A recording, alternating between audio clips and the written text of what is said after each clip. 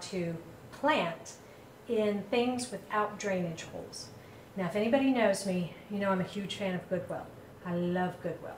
And when I go to Goodwill, I always find stuff and I'm like, I want to put a plant in it. I want to put a plant in that. I'm going to plant, put a plant in anything I get a plant in. But I don't like having to get out a drill. I don't like having to get out a ceramic drill bit. I'm afraid I'm going to hurt myself. Usually I make my husband do it. I'm not very coordinated. You'll see exactly what I'm talking about.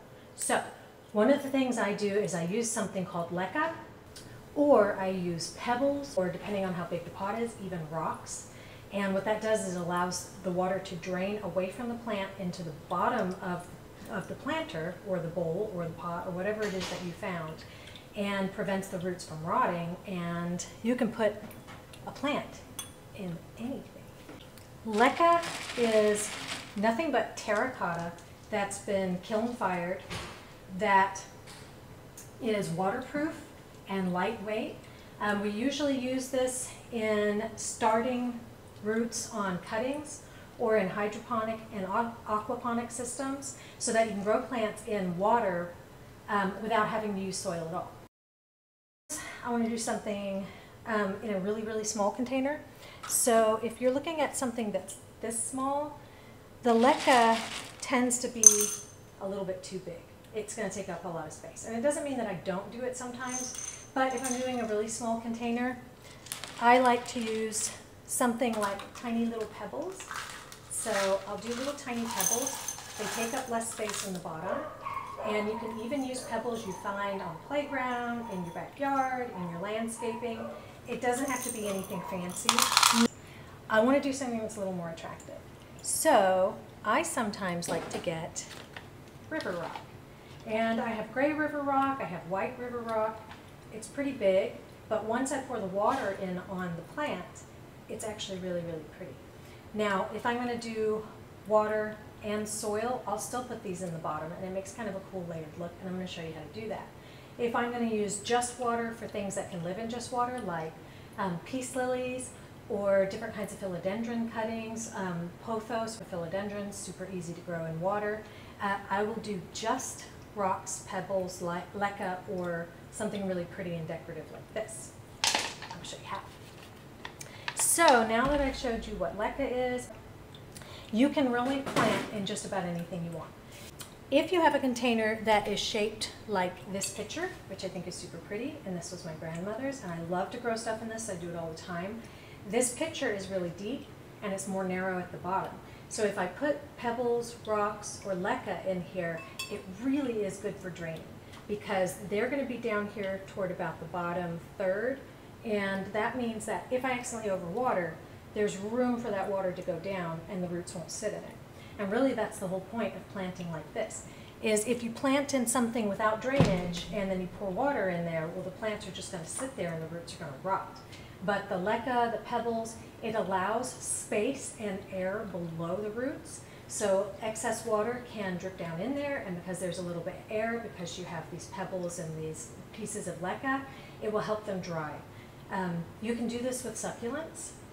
You can do this with pretty much any kind of plant, even something that doesn't want to grow in pure water.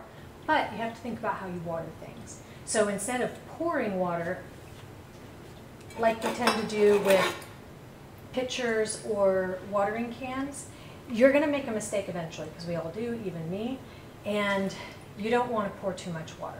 If you do pour too much water, go ahead and unplant the plant, because that plant doesn't get to dry out if it's overfilled and there's enough water to cover the leca or the pebbles in the bottom. So the solution to that's not bad.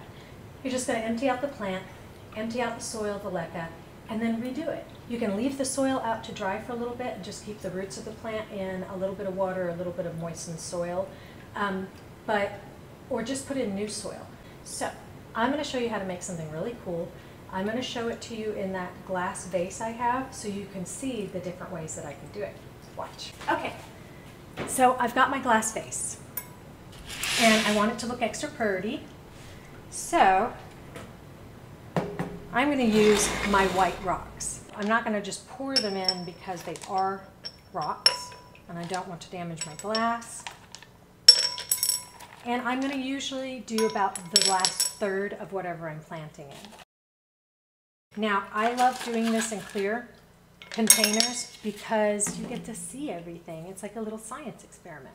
So I have the option of just growing certain kinds of plants in just water and the pebbles. Like I said again, peace lilies are wonderful. They'll grow in pure water. They don't care about soil. Um, various kinds of um, philodendrons, vining plants, they'll grow just fine. If you can start the roots of a cutting in pure water, that plant will be okay. You are going to need to add some nutrients, and I'll show you a couple of those things also, because if you're just using water, then they're not going to have soil to pull nutrients from. But that's easy to do. I'm just going to go with a plant that likes water. I'm going to use a peace lily because I have a lot of those and I already grow them in water in my fountain. I'm going to show you how to plant in something that's really tiny like this little guy. Again, it doesn't have any drainage and I want to fill about the bottom third. Now I can use little tiny pebbles. In this case, I'm going to use small pieces of leca. And in any kind of leca, you're going to have a variation of shapes and sizes. And I'm going to again fill about the last third of it, probably two more than that. And I'm going to put a snake plant in here. They don't need a huge amount of water. They'll survive just about anything. I swear they will survive a nuclear holocaust. But it's something that doesn't need a whole lot of water, so I don't need to water it terribly often. I'm to add some soil. And I've already picked out, here it is, a bird's nest snake plant. Now you're probably used to seeing snake plants that get really tall, like this guy. But a bird's nest is not going to get huge. They grow fairly fast, so you may need to replant it maybe in a year. They don't grow that fast. But this is the one I'm going with, and it's just a baby I took from another bird's nest. And it is really little, and it doesn't have a huge amount of roots, so it's not going to take up a lot of space.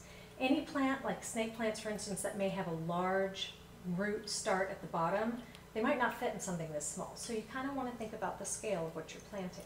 So I'm just going to stick her in here, I'm going to add some soil next. Now, if I'm going to use soil, I like to go with a soil that's really nutritious. I like to go with things like um, Fox Farm. It's one of those things where it just has so many nutrients that a plant in a really small container like this is going to be pretty happy. So we're going to do soil. Pour my soil around her. I'm not going to compress it too hard because again, I want this plant to have a little bit of air around the roots and I don't want her to sit in too much moisture but I don't want to compact my soil because then she's not going to be able to breathe and excess water is just going to make it really hard, wet, and the roots are not going to be able to move and grow through it the way they want to. And this is where the way you water really matters. If you just poured water into this container, the leca will have too much water sitting in it, and then the roots are going to be just sitting in the water. See, Krista's little. All right, so I'm gonna show you how to water something this small. One thing that I sell at my boutique are little spray bottles. They're pretty, but more importantly, they're fairly safe. You're only going to be spraying water. You're not going to be pouring water.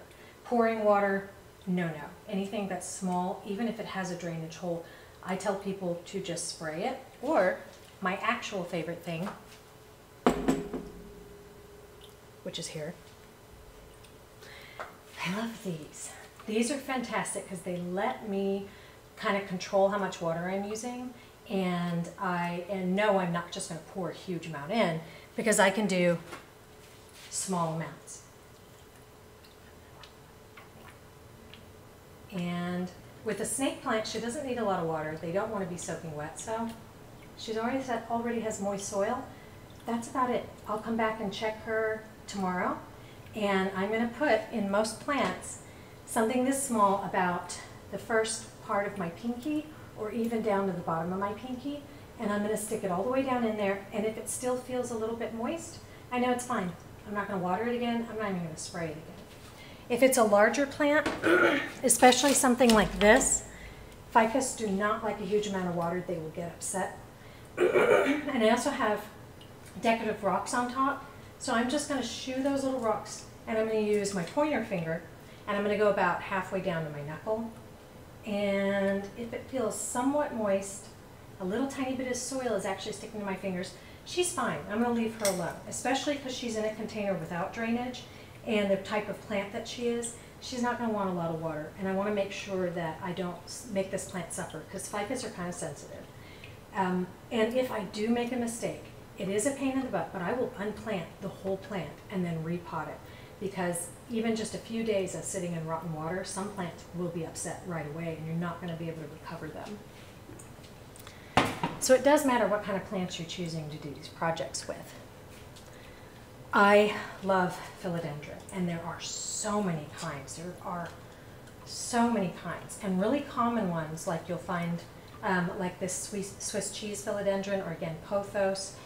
They are great because they'll grow just fine in water, and if you do overwater, really it's going to be okay. They're pretty good. I mean, this one I started, she needs fresh water because I haven't changed it in like two weeks but she's going to be just fine. And because she already has good roots started, once I put her in some soil, she's going to be just fine. If it doesn't have roots sort of already growing yet and it is just a clipping, go ahead and wait until you've had some time to develop good strong roots before you put it in a pot, whether it's pot with drainage or not. This messy thing is right out of my little fountain pond that I put inside my house and she has really good roots. I mean, she's a happy plant. But I like to look at the roots. I think it's kind of cool to see them, and putting it in something that's see-through is, I like it. It's great. So, here we go. I'm literally just going to put some water in it. But I'm going to show you how to put some nutrients in it because, for instance, when we do aquaponics and hydroponic systems, there have to be nutrients. There's got to be nitrogen. There's got to be um, a, very, a, a variety of things. So if you're doing an aquaponic system, the fish pee is what's doing it for you. If you're doing a hydroponic system, you're adding nutrients um, into the water for the plants. In this case, I'm going to add some nutrients in here, and it's something that just kind of boosts the roots when they get going, and it's not going to make the water brown or cloudy like uh, fertilizers or foods will, and you don't need to do it very often. It's a product called Super Thrive. No, I don't represent them, and I don't get paid to do so. But when I worked in a greenhouse, that was something we used anytime we were starting, or if we saw a plant that was suffering, that wasn't doing well, and they will perk up. So, hold on. I'm gonna secure her, because she does have kind of a funny root shape, I'm gonna secure her with the rocks to make sure that once she is in, she's not gonna topple over, and I kind of want her to be centered because I'm a little bit OCD, and I want things to be symmetrical. There's a couple of leaves, I don't like the look of them, I'm just going to snip them off real quick. Then she'll spend her energy making new healthy leaves instead of these yucky leaves that aren't really doing her any favors. Be kind of cool looking. Right. Okay, the water is important. Not only am I going to add some nutrients to it because it's just pure water, but I am not going to use tap water. Now, if you've watched my other videos, you know that I, I tell people that minerals and metals in typical water that you'll get from your faucet those are going to mess up plant roots, especially little baby plant roots. It also will live, leave yucky rings around and it just, it looks tacky. I don't want to have a mineral buildup on the inside of my pot. That's really hard to get off. I'm going to use either filtered water, you can use something filtered like Brita, you can use, you know, like a something you attach to your sink, you can use bottled water, preferably I do distilled water when I'm doing something like this, just to make sure I don't get any of those rings and I'm not adding anything unnecessary that's going to affect the roots. Brands, of course, don't matter. I just pulled the label off this one. And you don't need to go all the way up to the top, really. You just need to cover the roots. And then all of a sudden it starts looking really cool as if you have your own tiny little fountain or something inside. And for little kids, they love this. They like to see the roots, they like to see them grow. The roots will eventually kind of wrap around and twist into the rocks and it looks even cooler. Now, I do switch out the water, but not that often. But I don't put clear things like this in too much light. Of course, the plant needs light. These lilies are great because they need low light. They don't need a bunch. But if you put it in a really hot or sunny area, it's going to grow algae. So next I'm going to talk to you about the nutrients that I'm going to add to that water to make sure she's getting what she needs. Super Thrive. And you can buy this pretty much anywhere. You can get it on Amazon. You can buy it at local nurseries. Uh, I'm don't know if Home Depot and Lowe's have it, but generally you can pick it up pretty much anywhere. What is cool about this is a little teeny tiny bottle is gonna last you a really long time. It says one drop per four ounces. So some people are way more careful. They will literally measure out, you know, just one drop. For me, I've got a really small hole punctured into the top and that is so I can kind of control how much is coming out of the bottle. Now, I don't have an exact measurement of how much water is in that little container, but I'm just gonna do a few drops. This will last for so long. Even on big plants, you don't have to use very much. And for starters, little tiny roots, they will just eat it up and they love it and it doesn't have any negative side effects. It's not gonna burn your roots the way fertilizers can. I'm just gonna add a few drops. And I'm just gonna swish it around a bit and that's really all she needs to get started. Now, every once in a while, I will give her food and the product I like, and again, I don't work for these companies, I don't get paid to sponsor them, but this is stuff that I actually use and that I used in the greenhouse when we were growing hundreds and hundreds and hundreds of plants. Um, a little bit goes a long way on this too. I have hundreds and hundreds of plants here in my house, including the babies that I sell. So I get a really big one. You can buy way smaller bottles and they will last a long time. It is two ounces per gallon. So when you're doing something really small, you need so little. And unlike things like Super Thrive and some kinds of fertilizers, which you really need to use the same day that you pour them out, this is the kind of thing where you can mix up a gallon and stick it under the sink until you need it again. It's not going to affect the way that it works. It's still going to feed them. They need food about once a month when they're growing. Um, in things that have water, then I do about once a month um, year round just because they don't have soil to draw other minerals and nutrients from.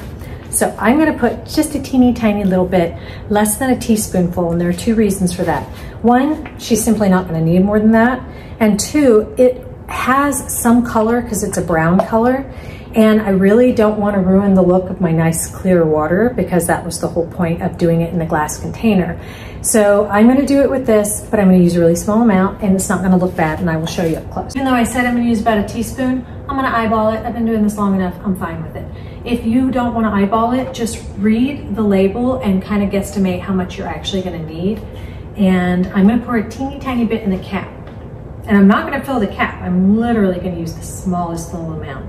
I don't want it to be brown and I don't want too much in there. So, I mean, I'm probably using less than half of a teaspoon, honestly. Okay, so I'm gonna pour it in.